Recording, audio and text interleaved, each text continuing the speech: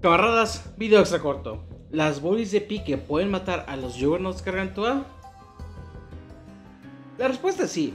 Aunque los Juggernauts Gargantua son más letales, su durabilidad no está tan aumentada, teniendo básicamente la misma salud que otros Juggernauts.